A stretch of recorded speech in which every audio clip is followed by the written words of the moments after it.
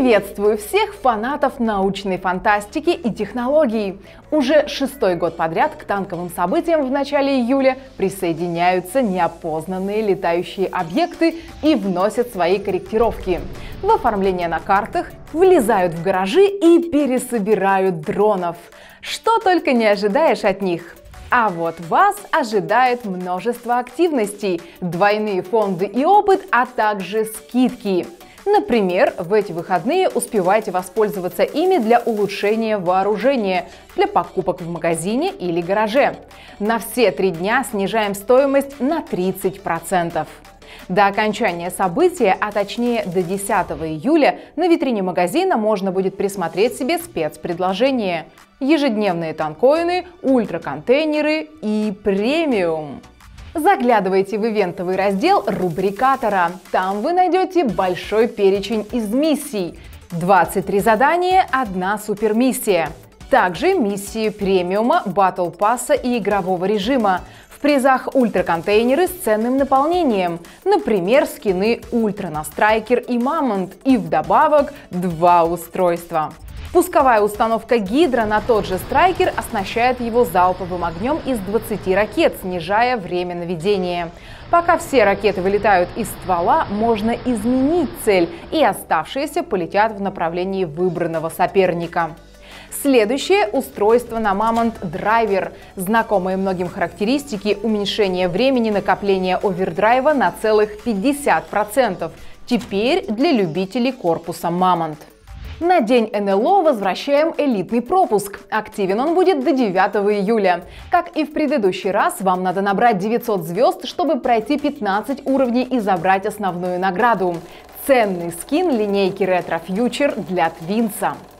Уверена, вас заинтересует информация про игровые режимы. В эти выходные уже можно полетать на хоппера-рикошетах – на пушках будет устройство, повышающее скорострельность, а свои навыки в прицеливании нужно показать на карте безумия. Ожидается метеоритный дождь, который принесет золотые ящики. На следующих выходных в режиме «Каждый сам за себя» на картах Парма ММ, Рио ММ и Колхоз ММ пройдет игровой режим под названием «Метеоритный душ». В бою не участвуют дроны, все остальное без изменений. Воспользуйтесь скидками, получайте удовольствие от игровых активностей, прокачивайтесь и зарабатывайте фонды.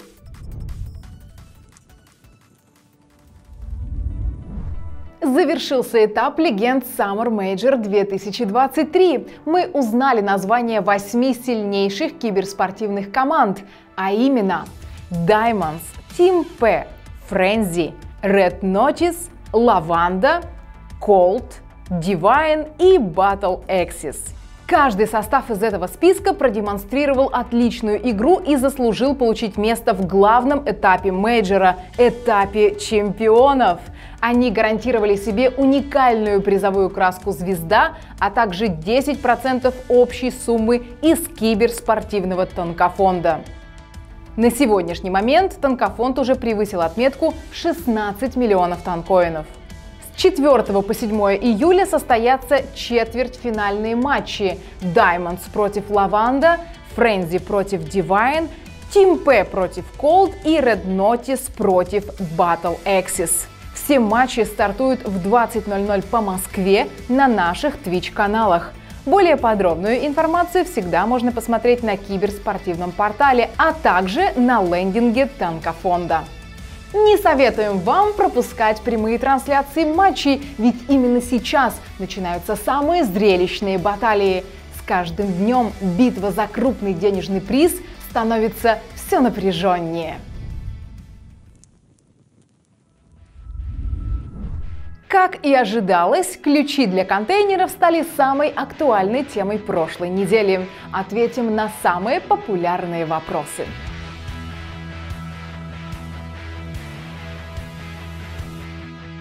Спрашивает Саксон ТО. Что будет с ценностью предметов из контейнеров, когда вы добавите к ним ключи? Я имею в виду расходку и кристаллы, так как вы делаете соотношение 10 к 1.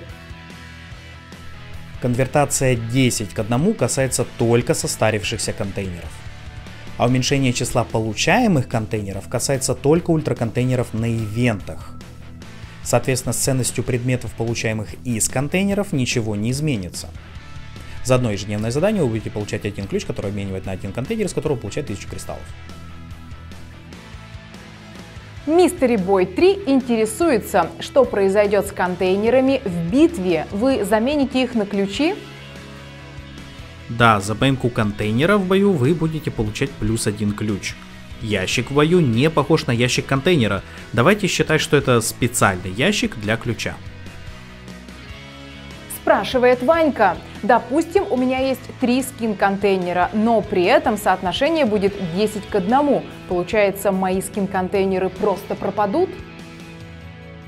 В случае, если контейнеров менее 10, мы будем их округлять до одного ключа. Не торопитесь считать, сколько разных старых контейнеров у вас менее 10 единиц. Мы просуммируем все старые контейнеры одного типа, например, ультра, и только потом будем конвертировать их в ключи. Спрашивает Финоченко. Контейнеры будут везде заменены на ключи, например, в промокодах или в магазине. Контейнеры будут заменены везде. Попытка получить старый контейнер приведет к ошибкам и необходимость обращаться в техподдержку для ремонта аккаунта. Спрашивает Gman 10.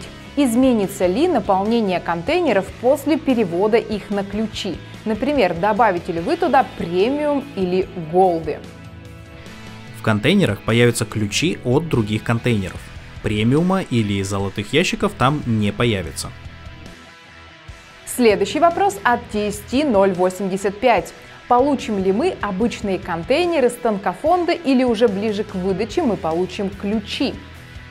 Из танкофонда будут получены обычные контейнеры, не ключи. BBC BBC задает такой вопрос. Будет ли для ключей отдельное место в лобби, где будет отображаться количество самих ключей или это будет рядом с контейнерами? Число ключей у игрока будет отображаться в разделе контейнеров. Спрашивает Чипк. Будут ли специальные предложения с ключами? Да, специальные предложения будут. Кроме того, ключи к ультраконтейнерам теперь будут продаваться в магазине постоянно. И завершающий вопрос от Продан. Один ключ открывает один контейнер или все сразу? При открытии 15 контейнеров будет расходоваться 15 ключей.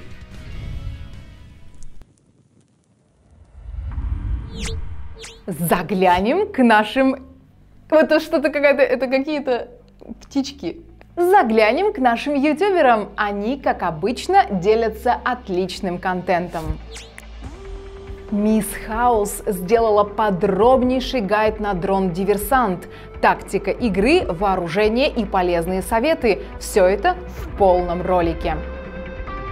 И для тех, кто обожает сидеть как раз таки на своей базе, этот дрон будет просто идеален. Но помните, раз вы решили сидеть в дефе и отсиживаться как раз таки на своем флагштоке, вы должны выбрать подходящий сетап. Это не просто так. Простой васп или хоппер вам не подойдет. Не, ну если, конечно, вы не мега крутой чел. Однако я хочу вам посоветовать брать, например, шафт на лечение, как это сделала я. Вы на нем можете заработать нормально опыта. Плюс поможете своим тиммейтам не только минирование базы, но и их лечение. А также, учитывая, что дрон может все-таки увеличить ДД и ДА, он вам поможет сделать киллы. Тем самым вы не останетесь минусом по УП и, конечно же, будете лечить своих тиммейтов. Ну, такая универсальная база. Ютубер под ником Уфер устраивает себе челлендж. Возможно ли выиграть битву без резистов, иммунитетов, припасов и устройств? Смотрим. Просто так скатать, скатать на трех вооружениях. Первое вооружение это викинга молот, второе диктатор огром и третье ареста скорпион сложно увернуться там от рисы, от шафта какого-нибудь, то есть э, вас все видят, вас все замечают, вас все пинают. Это пока что единственный минус, который я заметил у диктатора в этом, так скажем, нашем челлендже. Так что диктатор Гром, диктатор Гром меня удивил.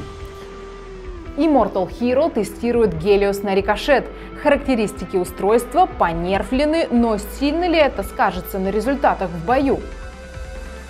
Первую очередь, к сожалению, разработчики посчитали нужным понерфить критический урон, который теперь на лишь 1%, но стал меньше. Ну и скорость зарядки энергии в секунду стала лучше, то есть мы заряжаемся теперь на 5% быстрее. Существенно ли это?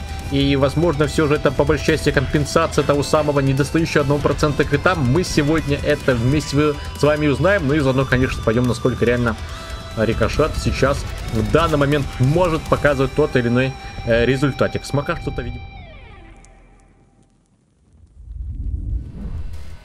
В прошлом видеоблоге вы могли ответить на вопрос, сколько снарядов выпустили все танки.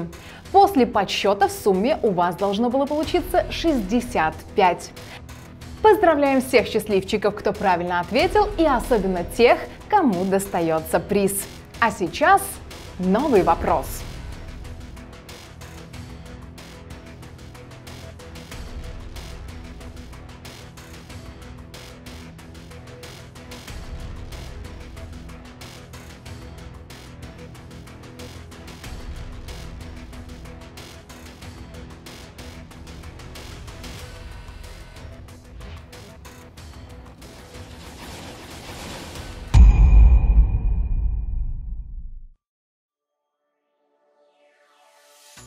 Так, я почитала ваши комментарии.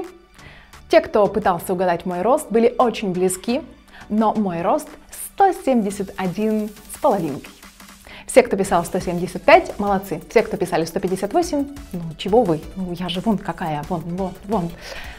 Все, пишем прощалку. Это были все новости недели. Время летит незаметно, но с хорошей компанией это скорее бонус. Не упускайте возможности поучаствовать во всех активностях и лайк, если планируешь провести выходные с танками. До встречи в первом июльском видеоблоге. Пока!